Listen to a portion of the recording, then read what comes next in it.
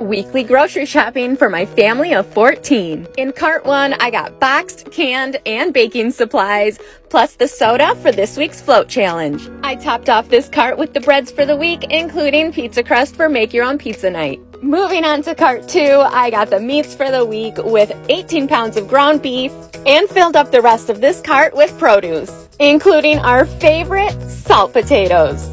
I left that cart up front with cart one, cart three, four different kinds of milks, creamer, yogurts, and the frozen products. Then I headed to checkout. That's it for today. See you next time.